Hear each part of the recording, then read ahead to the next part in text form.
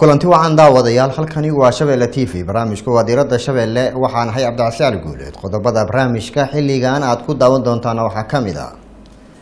Qaar ka mid ah siyaasiyiinta iyo waxgaradka soomaaliyeed ayaa waxa ay aada u soo dhaweeyeen sharcigii dhowaan oo madaxweynaha soomaaliya mudane maxamed cabdulaahi farmaajo saxiixay. Ka oo ahaa la dagaalanka masuq maasuqa barnaamijka idinkuugu soo gudbin doona sidoo kale barnaamijka waxaad ku daawan doontaan. Waa sidee kaalinta dhalinyarada soomaaliyeed ee uga qeyb qaadan karaan doorka wadanimada. Barnaamijka idinkuugu soo gudbin doona. Sidoo kale barnaamijka waxaad ku daawan doontaan. Radadkii dhismayaashii baarlamaankii hore ee soomaaliya ayaa xilligan waxa uu ka muuqdaa isagoo burbursan. Haddaba wuxuu u baahan yahay in dib loo dayactiro. Dowladda soomaaliya iyo weliba qaranka soomaaliyeed xilligan sidee u badbaadin karaan waxyaabihii taariikhiga ahaa oo dalka uu lahaan jiray. Barnaamijka idinkuugu soo gudbin doonaa warbixin arrintaasi la xiriirta oo aan u kurgalnay islamarkaana aan baritaan ku sameynay. Qodobada iyo qodobo kale ayaad barnaamijkeena diradda shabeelle aad ku daawan doontaan u diyaargarooba haddii uu barnaamijkan ku dhaafo waxaad dib uga daalacan kartaa baraha bulshada aan ku leenahay sida facebooka youtube-ka ee shabeelle t v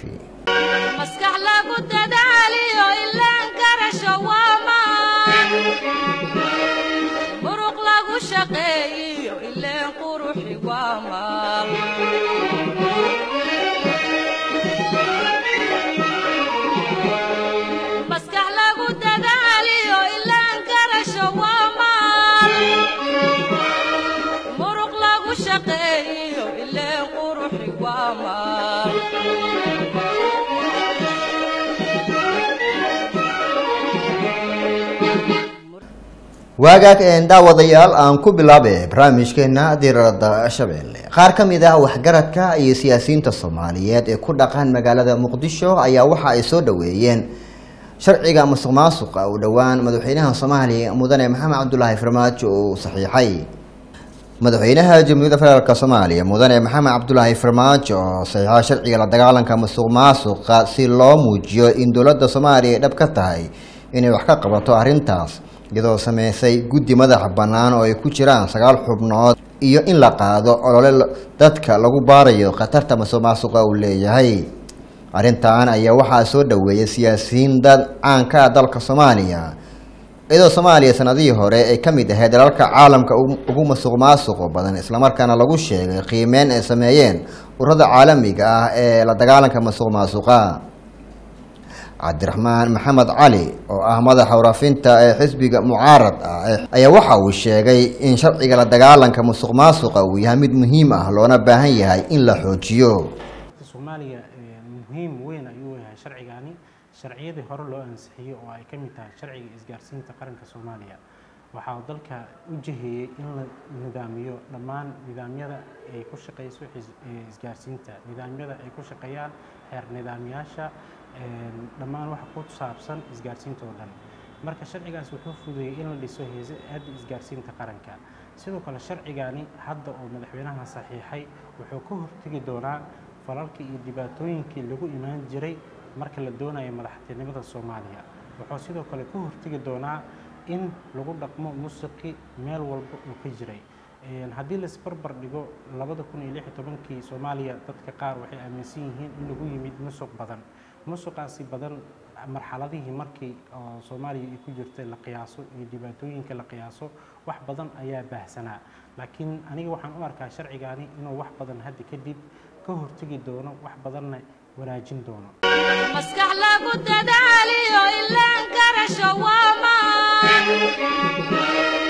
muruq lagu shaqeeyiyo ileen quruxi waamaan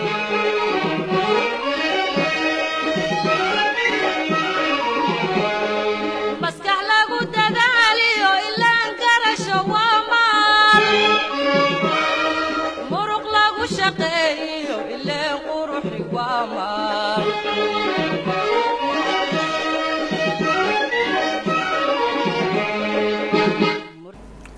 waagaakeen daawadayaal weli waxaad daawanaysaan. Barnaamijka diradda shabeelle. Waxaan ku guda jirnaa qeybihii dhexe ee barnaamijkeenne.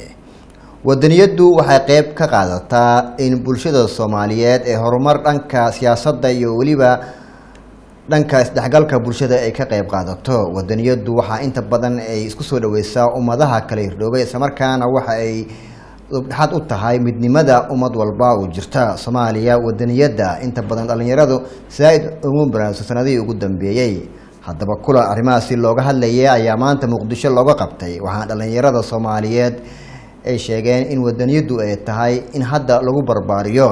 Soomaaliya ayaa tan iyo burburkii aysan inta badan aysan u muuqan in la soo hadal qaado ereyga wadani. Haddaba muxuu yahay wadani mid ka mid a macalimiinta wax ka dhiga jaamacadaha muqdisho ayaa waxa uu tilmaamayaa muhiimaddu ay u leedahay dhallinyarada inay wadaninimada ay ka shaqeeyaan. Noogu xigay marka qaasim hilowle skiifo asigana caan ku noqday si wadani xitaa talyaaniga ku heesaya haddii loo baahda yani kulli waxay ahaayeen dadka gumaysiga ka horjeeda oo gumaysiga necbaa oo inuu naga haro aada u jeclaa yani waxaa jiray cabdulaahi suldaan timacadde asigana waa dadka fanka maaragtay. Qiimo weyn ku lahaa oo gabayda waaweyn oo qiimaha le lahaa waad garanaysaanoo xorriyadda iyo ka sii horna waxbuu qaadayay.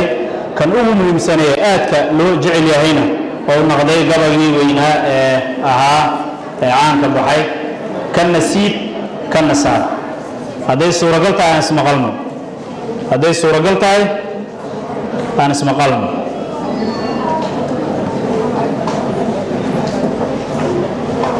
haddaad su'aal qabto waa na weydiin doontaa. Haddaad commenti qabtana waa nala wadaagi doontaa. Wixii ka soo haray laakiin waxa waaye wax fiican ma ahaya waa inaad aamustaa.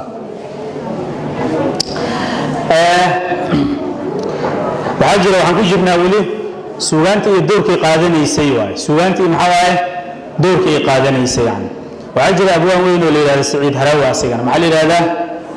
Saciid harawi yani xorriyaddii markii la qaadanayay dadka gabayada quruxsan ayagana iyo heesaha quruxsan sameeyey waay heesta caan baxday ee la yidhaahdo goormaan ladnaanaye lixdankii lugooyadii madaysaye lix iyo labaatankii goormaan lulanaye haddaad maqashid maxaa kugu soo dhacaya waay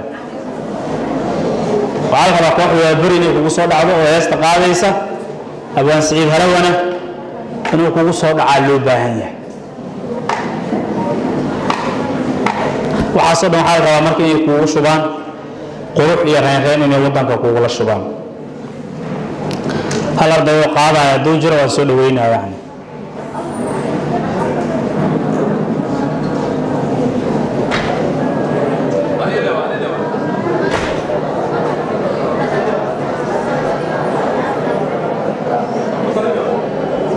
yani goormaan ladnaanay lixdankii gooyadii nadaysay lix iyo labaatankii juun goormaan lulanay lixdii saac goormaan dhibanay kowda luuliyo laba midowday kuwa cadowgii laayo isticmaarkii lumiyo kuwa cadowgii laayo isticmaarkii lumiyo liicin baa nacaye goormaan la naanay lixdankii gooyadii nadaysay lix labaatankii juun goormaan lulanay lixdii saac goormaan libanay kowda luliyo laba midowday kuwa yeeshay laxaadko la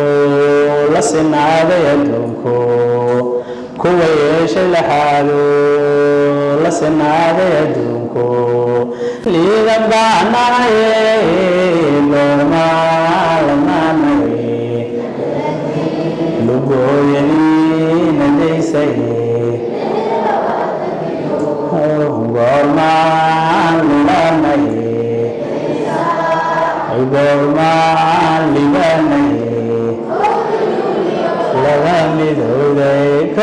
luliyo laba midowday kowda luliyo laba midowday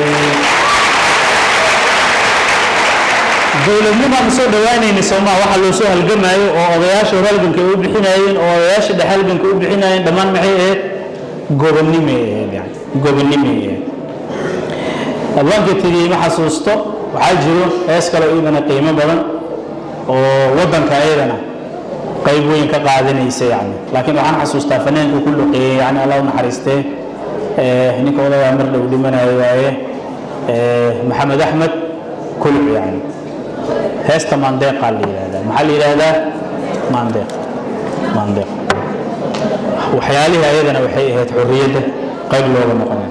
Abwaan qarshaan u noqonaynaa mar kale asigana dadka xorriyadda ayuu ku jiray. Aadka maaragta uga soo shaqaynayay dadkaa dhawaaqaya dhulkooda doonaya. Hadday u dhiidhiyeen allahayo dadkaa dhawaaqaya dhulkooda doonaya. Hadday u dhiidhiyeen dadkaa dhawaaqaya dhulkooda doonaya. Hadday u dhiidhiyeen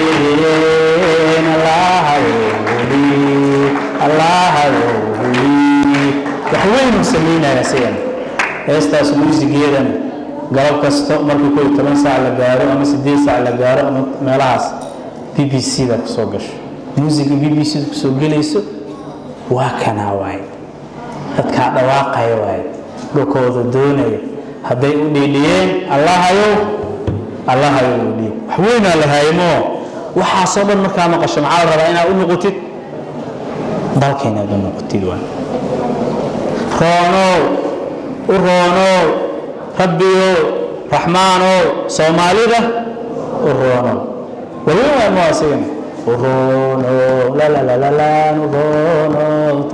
waagaag een daawadayaal weli waxaad daawanaysaan barnaamijka diiradda shabeelle tan iyo burburkii dowladii dhexe soomaaliya markii ay meesha ka baxday inta badan waxaa burburay goobihii taariikhiga ahaa ee soomaaliya caan ku ahayd.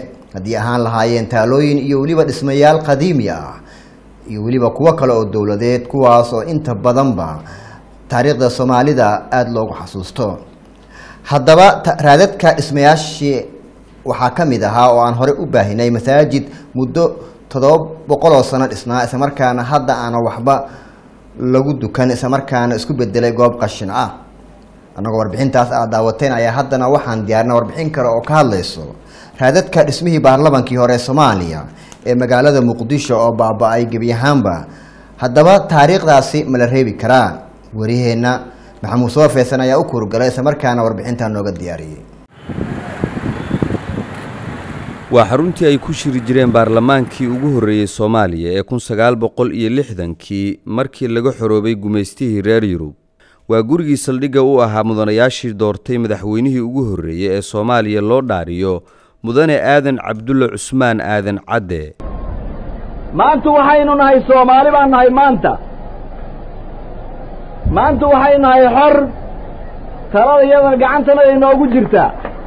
Wakhtiga kan aan idinla hadlayo waxaad tihiin xor dawlad oo adinka gacantiinna ku jirtaad leedihiin waxaad leedihiin bandiirad yaad leedihiin magacayga waxaa la yidhahaa maxamed macalin maxamed haaruun baa la yidhaahdaa meeshaa taariikhday leedahay waa taariikh weyn waxaana wanaagsan inay dadka soomaalida ah oo ku abtirsada deegaankan iyo maxalgeesta afrika ku abtirsada inay taariikhdooda si wanaagsan ay u xusaan meelaha muhiimka iyo meelaha sumada leh iyo meelaha calaamaysan oo taariikhiga inay si fiican u qiimeeyaan. Maxaa lambar bay wax waliba leeyihiin lambar bay wax waliba leeyihiin. Lambarka taariikhda ee ayuu ka mid yahay. Meesha hadda aanu taagannahay waa barlamaankii soomaaliya ugu horreeye weeye wuxuuna ahaa lixdan iyo kowgii waagii xornimada la qaatay. Meeshii maxaa la loo casteeyey soomaalida ama calaamadaha soomaalidaahd weeye waxay xusan tahay ooy mudan tahay dadka soomaaliyeed dhan kastaba ha joogeene ama waqooyi galbeed ha noqdeen ama ee maxaa la yidhaha koonfur noqdeen. Waagii horena soomaalida waxaa lagu calaamadayn jiray oo lagu oo lagu qiimayn jiray laba ah ee laba calaamad keliya. Noorad iyo sud baa la dhihi jiray. Xaruntani waxa ay ku taallaa isgoyska shabeelle ee degmada boondheere waxaana ku agyaal taallada daljirka daasoon iyo wasaaraddii hore ee caafimaadka soo kabashadii burburka dalkana iyadu weli nasiib uma yeelan in lagu daro xarumaha dayactirka lagu sameeyey. Waa xasan maxamed xasan xasan baashi. Waa father of love. Horta meeshaan aad u jeedaan waa barlamaankii ugu horreeyey ee soomaaliya ee dawlad la doorta lagu dhiso. Run ahaantii maanta waa aragnaa sida ay u taallo dawladda federaalka. Waxaan ka codsanaynaa inay meeshaan boorka dib uga jafto. Waa baarlamaankii baarlamaankii dowladdii kacaanka ay ka dhigtay maxkamadihii maaragtay ii sheeg badbaadada. Marka waxaan u sheegaynaa dowladda soomaaliya inay boorka ay ka jafto waa baarlamaankii ugu horreeyey soomaaliya. Waa baarlamaan ay fadhiistaan. Golihii waa baarlamaan ay fadhiistaan oday ee xildhibaanadii ugu horreeyey ee dowlad soomaaliyeed dhisa waxaa lagu doortay madaxweyne aadan cabdulle cismaan. Run ahaantii marka waxaan jecelnahay in meeshaan dib boorka looga jafo maadaama aan ahay oday soomaaliyeed. Marka aad eegto sawirkayda muuqaalka ay lahayd xaruntani iyo sida ay hadda u eg tahay waa mid aan isku kaa qabanayn waxayna dowladda ka codsanayaan dadkii waagaasi joogay in dib loo fiiriyo goobtan oo taariikhdeenna baal dahaba ku leh. Kun sagaal boqol iyo lixdan kun sagaal boqol iyo lixdan iyo shantii baan anugu sooma yaan soo galay caasimadda soomaaliya muqdisho waagaasaan imid ilal aanadaana waan u madana waxaan soomaalida ka codsanayaa oo dadweynaha aanu ka codsanaya ama koonfur ha noqoto ama ha noqoto waqooyi ama sida loo yaqaano suud iyo noord ha noqdeen waa afka ajnabiga inay caasimadaha meelaha ah sida waqooyi galbeed sida maxaa la yidhaha koonfurba inay muujiyaan u sameeyaan taariikhahooda iyo waktigooda iyo maxaa la yidhahdaa muhiimadooda inay muujiyo wax ka qabtaan. Meeshaan hadda aanu taagannahay waa baarlamaanka soomaaliya ugu horreeyey madaxweynihii ugu horreeyena wuxuu ahaa aadan aadan cabdulla cusmaan buu ahaa. Ninkii oo ugu horreeyey oo soomaaliya madaxweyne ugu horreeyay ninkaasuu ahaa. Markii dambena waktigii maxaa la yidhaha kacaanku dhashay kacaanku uu dhashayna waxay noqotay maxaa la yidhaha maxkamadda badbaadada qarankay noqota xaruntani sidoo kale waxa ay caqabad ku tahay bilicda caasimadda. Marka loo eego muuqaalkeedan bahallagaleenka u eg iyo meesha ay ku taalla muhiimadda ay caasimadda u leedahay labaatankii oktoobar sagaalkii markii ay ciidamadii militariga xukunka si afgembiya ula wareegeen. Xaruntan waxay ka mid ahayd xarumihii dawladda ee markaasi ay la wareegeen oo ay galeen. Dowladdii maxamed siyaad barre waxa ay xaruntii baarlamaanka u beddeshay maxkamaddii badbaadada dalka. Burburkan aad u jeeddaanna waxaa u geystay musiibadii ku habsatay dalkeennan kun sagaal boqol kow iyo sagaashankii. Haddaba dawladdan dawladihii ka horreeyey kuma aysan guulaysan in ay dib u soo celiyaan astaantii qarankeenna ma laga yaabaa dawladda maxamed cabdulaahi farmaajo iyo ra'iisul wasaare xasan cali khayre in arrintaasi ay nasiib u yeeshaan oo ay gurigan dayac tiraan isla markaana ay soo celiyaan astaantii iyo taariikhdii ummaddan iyo dalkan. Waa su'aalaha ay isweyddiinayaan dad badan oo waayejoog ahaa maxamuud soofaysan shabelle t v waagaag een daawadayaal warbixintaasina waxay ka mid ahayd warbixino silsilado ah oo aan ku eegeynay taariikhda dhismayaashii hore ee soomaaliya gaar ahaan kuwa ku yaalla magaalada muqdisho. Annagoo dhinaca kale jecel inaan idiin soo gudbino taariikhyo badan oo gobollada soomaaliya ku yaalla islamarkaana ka mid a meelaha inta badan soomaaliya hadda aan la soo hadal qaadin. Soomaaliya markii ay burburtay waxaa la burburay guud ahaanba taariikhdii ay lahayd haddii ahaan lahayd dhismo taallo iyo weliba xarumihii dowladii dhexe soomaaliya. Warbixintaas ayaana maanta waxaan ku eegeynay raadadka dhismaha baarlamankii hore soomaaliya ee lixdankii islamarkaana baarlamankii ugu horreeyay soomaaliya madax bannaan ay ku shiraan. Hadda waxaa u muuqda sida aad daawanaysayba muuqaalkiisa mid aada u burbursan. Sidoo kale goobo kale ayaa jira. Waxaana jecelahay in barnaamijyadeena xiga aad ku daawan doontaan warbixino la xiriira taariikhda dhismayaasha dalka uu lahaan jiray guud ahaan barnaamijka diiradda shabeelle ayaan jecel in intaas ku soo gabagabeeyo. Waxaan ahay cabdicasi ali guuleed haddii uu barnaamijkan ku dhaafo waxaad dib ugu daalacan kartaa baraha bulshada aan ku leenahay sida facebooka youtube-ka ee shabeelle t v